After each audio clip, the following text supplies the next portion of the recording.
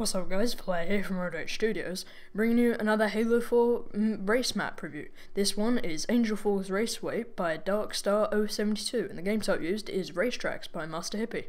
So you can see uh, by the big kind of bright ORL sign, this map was, I'm assuming, built for the Outlaw Racing League.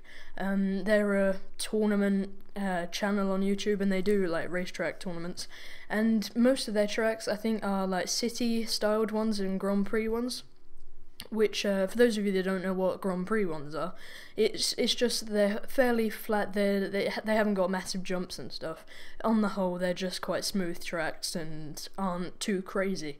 But I really enjoy that kind of track. Uh, it really really entertains me for some reason and uh, I really recommend this map especially. Darkstar already had one to two other map reviews on this channel, which the last one that I did was um, another, I think it was Moonatite GP1, which was another Grand Prix map, so I really, really enjoy all of his maps. I've downloaded quite a few of them. I haven't reviewed all of them, but yeah, uh, I like the use of the waterfalls built into the map, like where it looks like the water is just going down behind the rocks.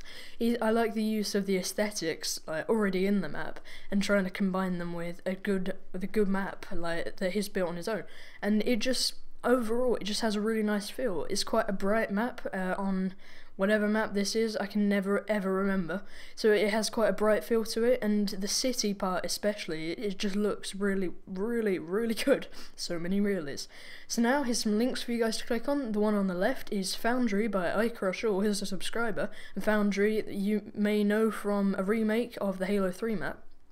And then if you click on the one on the right, it will take you to the Halo 4 Forge maps show series thing, as I always say, uh, which you can catch up on all of the previous videos of this series if you're a new subscriber. And speaking of subscribing, click on the big red text at the top to never miss an upload from us. So yeah, thanks for watching guys, this has been Flare from Road Studios.